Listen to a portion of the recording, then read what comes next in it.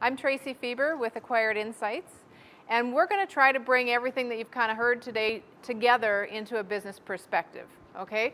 So what we do with artificial intelligence, machine learning, predictive analytics is we integrate it into the business. So we've brought together different partners and we go into a company and really create the project, do project management, and make sure that you're meeting your business imperatives.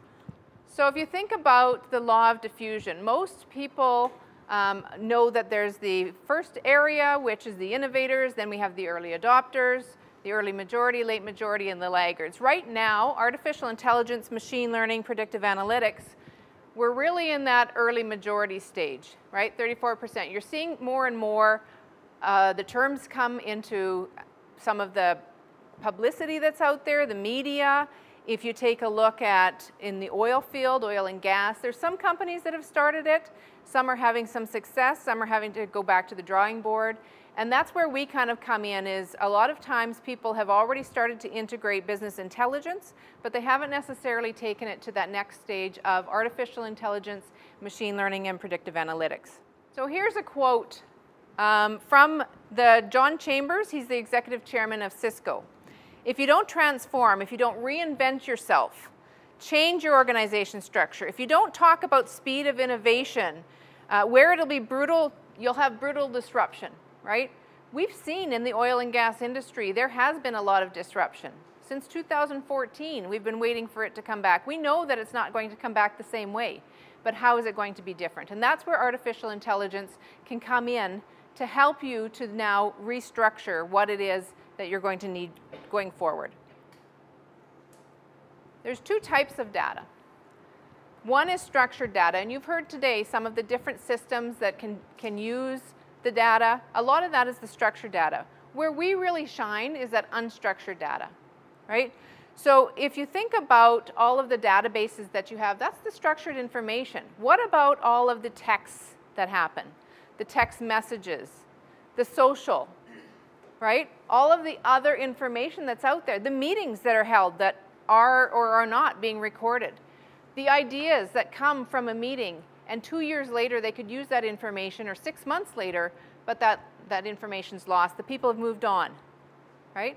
So that's the unstructured data. Voice recordings, voice to text, audio, you can see all of those. I'm not going to go go through all of them. MNO is mobile network operators, so think about Google Analytics, you can take a look at, you know, where is it that the people have come from, how are they coming, all of these sort of information. So why is it, it, important to have that unstructured information? Well, I can tell you, IBM had a statistic a few years ago. 90% of today's data has been created in the last two years, and 90% of that is unstructured. Is that a believable statistic? I think so. If you think of social media and all of the different ways that people are now communicating. Since businesses generally use the structured data, that means that they're really only using about 20% of the data that's within an organization. What about all of the expertise that's in someone's head? Is that being recorded? Is there any way to use that information?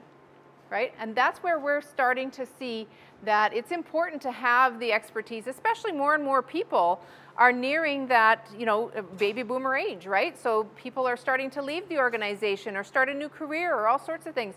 You're losing that information. This is the unstructured information. We've created an app that can actually capture that, be used with the structured information that's already there, and bring artificial intelligence and machine learning into it. So the world's most valuable resource is no longer oil, but data. Now I know you're in the oil field and you don't want to hear that. But what happens if we start to bring the data and the information from the oil together? How can that change?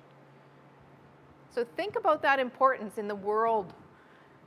How all of the information that has been used, whether it's onshore, offshore, above ground, below ground, all of that information. Yes, the data is there. It's not necessarily that we need to capture more data, but we need to now capture that unstructured data and bring it together with the structured data. So what keeps oil and gas executives up at night? Well, we've brought it into three different categories. Upstream, there's the innovation and the exploration. I know that this doesn't cover everything, right? My husband's been in the oil field for 35 years uh, since we've been married, and I know it's changed a lot in all, all of those years. But how is it going to change now with technology? Technology can be the thing that can help companies to recover from everything that's happened. Increased production, oil recovery rates, midstream. We have the expectations of distribution growth. We have high competitive intensity driving down the returns, the management and investor group alignment on value propositions. And then there's downstream. We need more efficient, flexible, integrated refineries to meet the increasing regulatory compliance, right? Just because of the downturn doesn't mean regulation has stopped. And that's a tough thing. Regulation costs a lot of money, and yet you need to continue to do it. There's still uh, deadlines that have to be met. There's still, uh, you know, you've got uh, dates for things to be drilled by or else you have some compliance issues, right? Environmental issues. Production growth and cost of supply, the corporate communication and timely flow of accurate information to determine the efficiency in the various processes. So all of these things, whether it's upstream, midstream, downstream, some of these actually go across different streams, right? It's not necessarily only that upstream that it applies to, it's actually across the streams. So we've got some industry-wide concerns, some cost-cutting measures. We know that since 2014, we've done all the cost cutting that we can do, right? We can't cut anymore. How do we get, how do we get past that? How do we continue to survive? Uh, the market and price volatility, we all know about that, right? What's our oil worth? What about the pipeline? We can't help to build the pipeline, but we can certainly help with the information. Raising the capital, dilution, uh, cost of equity, earnings per share, right? All of those things are things that are concerns to everyone. The cash optimization with respect to the standards, the heightened geopolitical risk, health, safety, environment management, uh, corporate social responsibility, and the shortage of technical talent and the capability. So as I said, as people are leaving the industry, retiring, deciding to go into another uh, career, we, we're losing that information. And if you think about, we need to start capturing that. That's that unstructured information, right? We want to be able to have that information within the company because that's part of the assets, it's the knowledge. So everybody's asking the question, what types of AI applications are currently in use in the oil and gas industry? Is there something that we can go off of or some way that you can help us? What are the tangible results of some of the AI ML and the predictive analytics? What is it doing for us, right? Uh, are there common trends among the innovation efforts, right? So remember I said where we are in that curve, we're at that early adopter and innovator stage. How could the trends affect the future of oil and gas? So that's where, if you think about predictive analytics, it's the prediction that we can also help with, right? So it's not only going on past, it's going on what's happening now and what impacts will these have and how do we need to now make a different decision. Right? Remember, when we're looking at things, we can only think within our own experience and our own realm of possibility. And sometimes we need the machine learning to be able to show us different possibilities. And when we see them, a lot of times you say, oh, yeah, well, that makes perfect sense. But did you think of that? And how long would it have been before you did think of that? So the future isn't in the future, right? It's not that, you know, AI is in the future, artificial intelligence, all of these things, it's coming. No, it's not coming, it's now. We're seeing that it's already now. Here's a quote from the Senior Director of the Energy and Natural Resources Industries. The promise of AI is already being realized in the oil and gas industry. Early adopters are taking advantage of their position to get a head start on the competition and protect their assets, right? So as competition in the oil and gas industry continues to heat up, companies can't afford to be left behind. You need to be getting into it now and finding out whether it's a small project or a large project, you need to start to do it now. And the reason being you're going to get left behind. Yes, it's tough because of all that's happened. And yet we, as you'll see a little bit later, we show ROI fairly quickly. Uh, compared to projects, you know, years ago where you had two-year implementations, et cetera, and keep on going, we don't have to do that anymore. Technology has allowed us to be able to have faster implementations, so you get to your return on investment a lot faster. So the adoptable, predictable technologies for the upstream. So there's exploration, finding those pools, right? We can take all of the data, the production optimization, analyzing the seismic, and the subsurface data faster to locate some new reserves, the intelligent robots that are out there, um, using them in hydrocarbon exploration and production, the predictive analytics to detect acoustic changes, um, patterns. So it can be, we've got an app that somebody can actually take and have it record or listen to what a machine is doing. And by feeding that in and having other information fed in, it can then predict what's going to happen. When you know how sometimes some, uh, um, some of the pumps, let's say, the pump might be making a funny noise, right? The person may recognize that, but it could be that you have it listened to and then the system can tell you what's going on. Does it need to be repaired or replaced or, you know, flushed or what is it, right? The development, how to get the oil, the oil and gas out. So minimizing the downtime, the predictive maintenance for oil and gas equipment, the reserve, reservoir understanding and modeling, predicting the oil corrosion so that you can reduce the ma maintenance costs. Right? We're all into, yeah, we want to cut costs in any way, but we also want to grow. We also want to have that income, not just cut expenses. AI-enabled platforms that have better control over rates of penetration, enhancement. And then there's the production and drilling capacity. This is where you reduce the on-site operating costs by using the sensors. So all of the data, whether it's structured data in the sensors and everything else that is out there that's in a company, in an ERP system, in a HR, uh, uh, HRIS system, whether it's your CRM, your customer relationship management system, any of the information that you have that is structured information can now be combined with unstructured information. And it can give you a more robust picture and glean better insights. So what about in the midstream?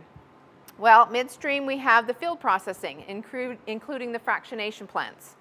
Uh, you can maintain close, accurate tabs on the production flow and the quality of it. That provide a better foundation for production reporting. In the transport, and I'll tell you a little bit about a transport company in a little bit, um, crunching multiple data sources, to pinpoint the risk for pipeline integrity management.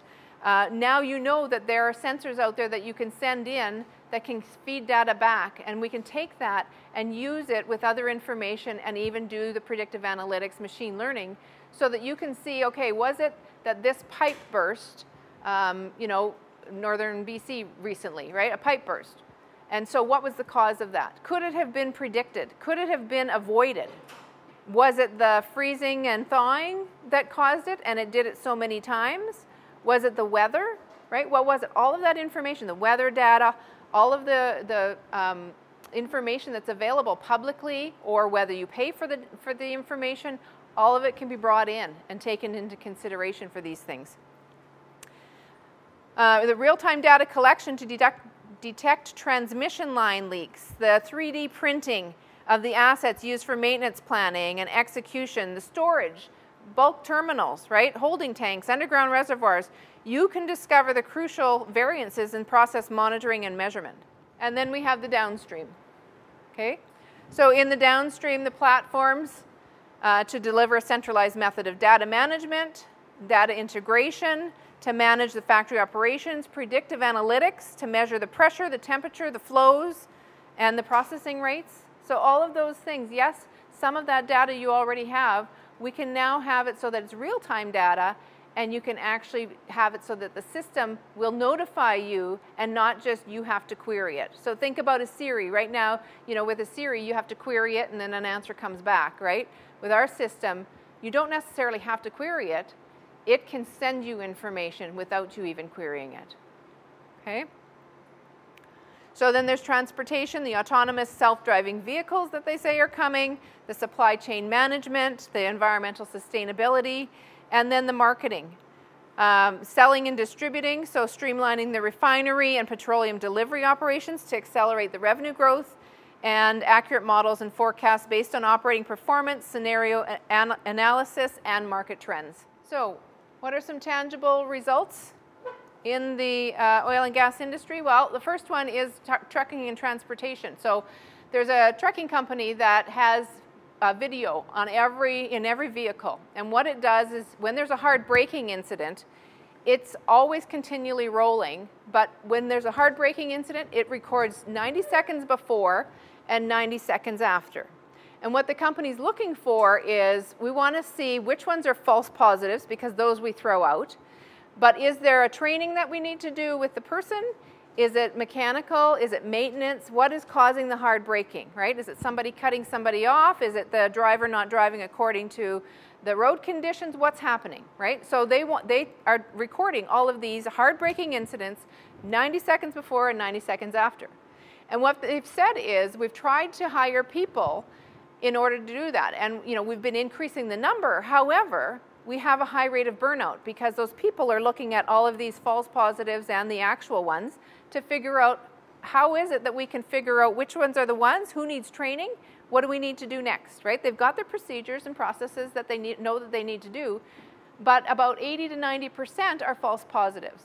And so what we're doing is we're working with them to take out all of those false positives and also to be able to then take it so that the people um, don't have to necessarily decision what needs to do next. There's only certain circumstances that they need that expertise. So this is helping them because they can't keep people in that position because they said people get bored, they want to move on, they want to be more challenged, right? And, and it's making it so that they don't have to go through all of these hours and hours of data, uh, hours and hours of hard braking incidents that are 90 seconds before and 90 seconds after, and take a look and say, okay, you know, only 10%, let me find my 10%, right? Uh, the current and historical data sources with AIML. So there's projects with historical surveys. Some of the, some of the projects are taking one or two of these things, and others are, are taking uh, each one individually. So it might be a project that's with historical surveys, and we're taking a look and seeing, okay, how can we make it so that these uh, historical surveys are better utilized? Right? Right now we have them, we use them in a certain way. What are other ways? What are other insights that we can see that we hadn't thought of? Then drilling and platform results in the records, the well logging reports, the marine seismic, the geophysics reports, um, the thermal imaging, weather reports. So all of these things can now be used, right? So here's some of the things that happen when we do projects. We've seen decrease the time to detection. We uh, decrease equipment downtime, the maintenance costs, decrease the repair costs, increasing things like straight-through processing, productivity, uh, increasing profitability, improving process automation, right? So sometimes we can, we can uh, sh short, short stream something or take out steps in order to get from here to there because those steps really don't add value along the way. Uh, improve the seismic analysis, improve the delivery of capital projects. And here is just an example. We have models and modules, and we have a lot of different modules. So things like an analytical data warehouse, we have a behavioral data warehouse, we have a decision engine, a customer journey management, all of these different modules. Now within those, we also have other models, which are uh, artificial intelligence or machine learning models, right? Algorithmic models we have things like straight-through processing. We have robo-assist. We have an underwriter portion that can be used, not just when you think underwriter, you think of insurance or financial, but it can be used in many different industries in different ways. So we have over 100 models in our models library. What that allows us to do is have a fast implementation because we can take those models and put two or three together and then we can actually custom code what else needs to be done and have a quick implementation. Things like subsurface data, uh, the telematics data, sensors, IoT data, right? All of those things. There's a lot of companies in the oil industry that have information and data, and yet they're not necessarily using it or using it to its full potential. The satellite, geolocation, the system logs data, a lot of those things are there, but they're not being used. So we need to innovate to survive. We need to add intelligence to the critical assets, right? Aggregate the data from multiple sources, bringing things together, structured, unstructured. Like I said, that's where we're a little bit different is because we can bring that unstructured information. A different decision, you would make a different decision if you had that information a lot of the times. Okay? Improving oil well planning, streamlining event and field management, anomaly detection sensors, uh, bot and drone diagnostics. You know that some of these things are being used somewhat in the oil field or getting to be more and more. What about the information that comes from there? Is it just immediate that you use that information or is it put somewhere and never used again? Now we can use that information, We can resurrect it and take it into consideration when future decisions are being made. The monitor operating conditions of remote assets, interpreting the massive volumes of data. A lot of times you have a lot of data and you're not using it, or you're only using it for one or two purposes. It could be used. Now other systems can talk to each other. Connect the outdated systems or processes, right? So think about a lot of times what we've heard from some people is, well, you know, we've got this version of this and we need to upgrade it before we do anything. And what we're saying is no, actually, to us it's all data. It doesn't matter which version you're on. The nice thing about artificial intelligence and machine learning and predictive analytics is it can take the information that you have and it can then build the system that you need. Automate and optimize data-rich processes, increase speed to well site production, uh, sense and respond to the demand. So it can take a look at how much demand is there. It can predict when is the demand going to hit, right? So take a look at all of the information that you have and you're not fully using yet. Uh, fleet management, we've got another company that is with the fleets. They're taking a look at how can we optimize the use of our fleets right? Is there predictive maintenance we can do? Is it, wh what is it that we can do to help to, yes, minimize costs, but make us more money? Increase insight into operations to reduce the exposure, the risk, and the liability. So things like safeguarding your assets, uh, maintaining the lean operation. So we've, in the last few years, we've all had to downsize and become lean, right? Cut a lot of different positions and processes and things that we do, all sorts of things. Now, how do we grow from here and not get back to that?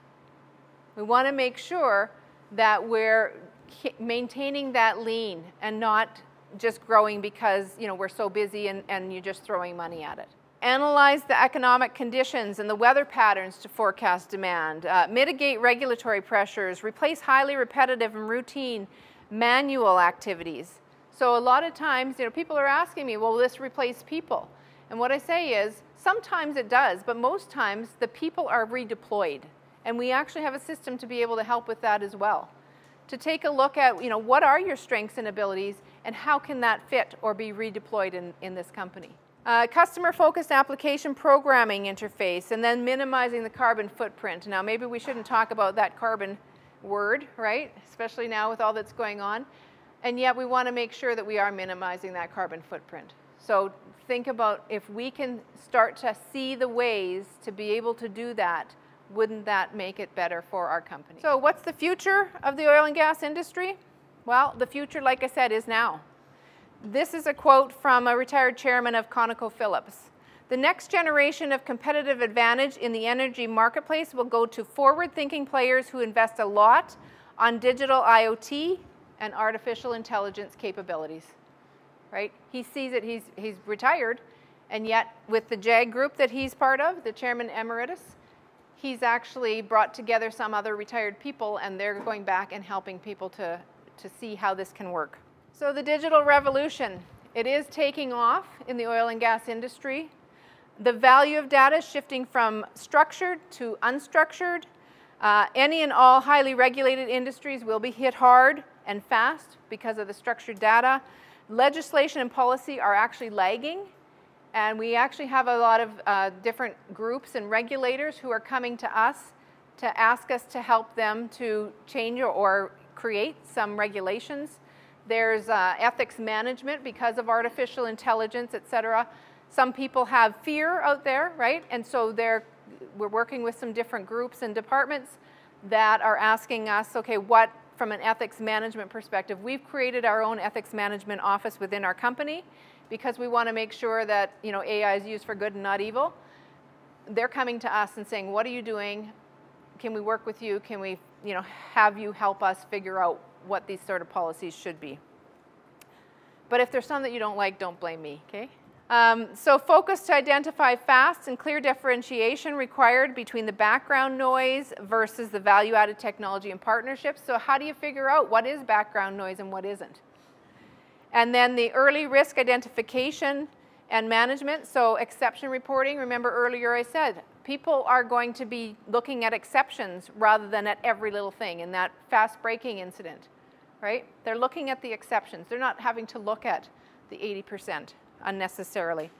The use of AI ML used to accelerate move to root cause analysis and fast. So you can see what the root cause is instead of trying to guess what it is, and you can get there very quickly. Canada and US are actually far behind in the adoption. We are ha having the AI ML system and solution in other countries. And North America, I can tell you, is a little bit slower, so it's going to happen faster because regulations are coming. Regulations keep changing, right? And all that's happened within the whole oil and gas industry is being affected. So some quick stats. Uh, Cisco Consulting did a survey, and they said, you know, what is the top driver for the industry to invest in connected technologies? And you can see 32% said data analytics for faster, better decision making. 26% said improved operational efficiencies and 18% increased productivity. Now this was taken in 2015. So that was right after things had started to crash. People were still kind of optimistic, maybe next year, right? Maybe six months.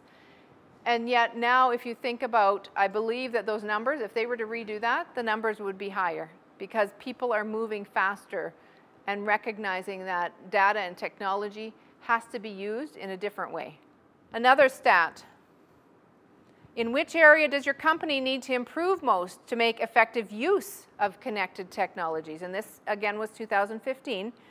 48% said data, leveraging the data for more effective decision making. So it's not that you don't have data, you have it. It's just a different way of using it, right? Or it might be adding to it. So think about, you know, if you can search the web or get a data feed from a known source, and you can bring that in and help with the decisioning that you have. You can bring in uh, weather information. You can bring in all of these different satellite information that's out there. It's not just your data anymore.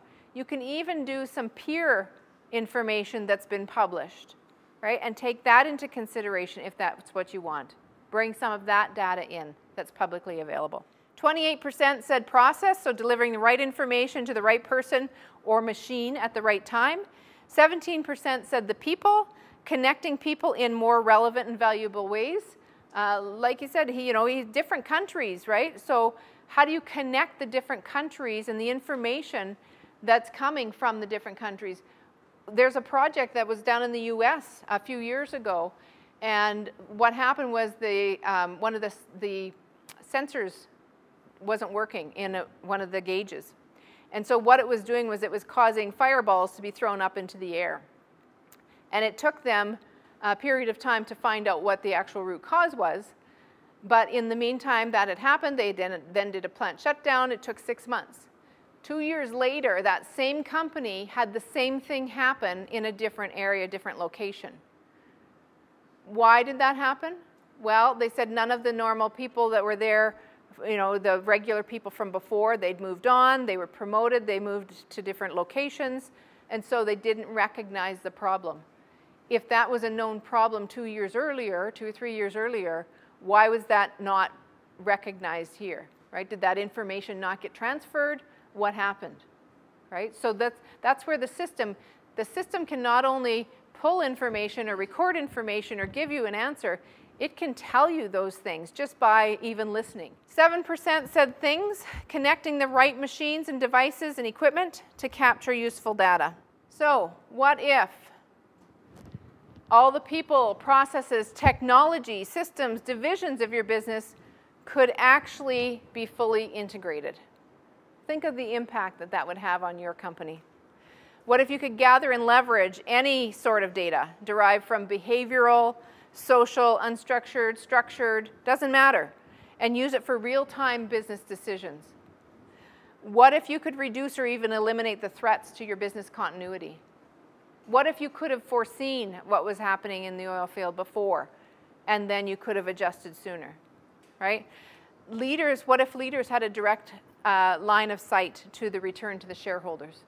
So what artificial intelligence, machine learning, predictive analytics, what can it do for your business? Well, you know you're ready when you want the impact of a digital transformation to be minimized, right? You want it to not affect your company. Think about all of the different technological implementations that have happened, and the company needs to shift to the way that the program or technology works, right? That's not necessary anymore. Because with artificial intelligence, it can learn how your company works and it can then take that information together, right? It doesn't have to be. Uh, one company that we're talking to, they, they have uh, people that are out in the field and you know the difficulty is of course getting the information from the field into the office, et cetera, and, and the whole process. With an app, they can record it. And instead of, instead of it, uh, me having to learn how to input it into here, right, learn the drop downs or how to put it into the system or whatever it is, the system learns how I do it. And then it learns how you do it. And it learns how you do it. And so that you can keep doing the things that you do the way that you do them, and you don't have to conform to the way that that, that system works. Uh, you want to see results in weeks and not years. You want to implement AI, ML, which is artificial intelligence, machine learning, in a non-disruptive way. Uh, like I said, our implementations are usually fairly short. Uh, you're tired of vetting new grad AI ML companies. We've had, we've been brought in a fair amount, whether it's a large company that couldn't perform or a smaller company that couldn't perform for various reasons. We've been brought into those sort of circumstances. So why choose us? Well, we have 250 uh, data scientists and mathematicians. We have 20 years experience. Uh, we've partnered with different groups who have a lot of different experience. We're even working uh, right now with like Hanson Robotics to be able to bring our artificial intelligence into their robotics. Um, we have a 300 person year model library software that adapts to the customer behavior, which is what I was just saying. Operational perspective, well, the solution implements in days or weeks, and you start to see the ROI, the return on investment, within a few weeks. And then 100% ROI is usually within 12 months, right? So it's a fairly quick implementation. Typically an implementation, depending of course, size of project, et cetera. Some companies start with a project, some do it company-wide right away. It depends on what's right for you. Um, implementation, though, is usually within 9 to 12 months tops. It's usually 6 to 9 months. And the solution then becomes self-funding. How many solutions can you say can do that, right? Organizational perspective, it's fully customizable. Remember, we've got the models and the modules, so we put them together and figure out what is it that this company needs and how do we do it, and then we customize it so and add others and create along the way. Uh, it's non-disruptive implementation, so it used to be, like I said, that you know you had a whole team of people that came for months and months and months and, and really disrupted or you tried to work around them in your company. That's not the case. Typically we come on site for a couple of weeks, then we go off site, and do our thing, and then we come back and we deliver you know, what it is that either the proof of concept or implementation or what have you. Okay? So it's a fairly quick process. Our head of tech was the lead developer on SAP HANA. So he's got a lot of experience. This works with, it doesn't matter if it's SAP or Oracle, uh, you know, any of the other systems that are out there, we work with all of them. We have that experience. From an internal perspective, we have the focus on supporting the business practices, so we don't necessarily make you change business practices. If, if you have a desire to change business practice, practices, we can help with that. But that doesn't mean that you have to do that, okay? And then change management component, we always have that included the project management component, and then the human resources. So we recognize that people are important in a company, and it's not that we need to you know, disrupt everybody. So here's a few different companies that we've done some work for, uh, whether it's been artificial intelligence, security, unstructured data. We're doing projects in these different companies. We also um, are doing cyber security and even getting some companies with crypto have come to us to say, you know, how can this work, et cetera. But our focus is really on oil and gas, financial services, healthcare, and telecom. So what are the next steps? Well, you need the tools, whether it's our tools or someone else's, right? You need to have things like, these are the ones that are most common in any implementation. We have a behavioral data warehouse. That's your unstructured information. We have a decision engine. We have a dynamic customer journey. And then you need experience because like we say, this is rocket science. It is how to bring it together for you that's customized. It's not gonna be that we implement for you and then we go to your competitor and we implement the same for them. That's not how this happens. This is yours, this is how you do it, and somebody else does it differently. Remember, we're not making them come to our system, our system goes to them. And then guidance. We use experience and insight to consistently convert uh, industry average business functions and management into key differentiators to drive newfound commercial value for you. So there's my contact information. Again, acquired insights. If you go to aiinc.cloud, that's our website. And if you have any questions, I'm happy to answer them.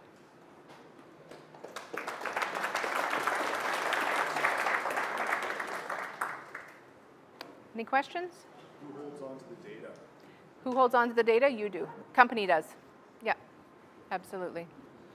And even any new IP that is developed, typically, I mean, it's always up to the company, you know, to have the conversation. Is it you or is it us? Typically, it's the company. Do I have some challenges that we face in implementation? Absolutely. So some of the challenges can be dirty data uh, or poor data. And sometimes what we have to do is we have to then take a look at how do we get that data? Is it that the, you know, it needs to be bought or brought in from somewhere else? Or is it that we need a period of time, whether it's you know, two weeks or two months, in order to get the clean data? Yeah, so that's one of the challenges, absolutely. Do you have any other questions on specific challenges that you have in mind? Okay, good, thank you.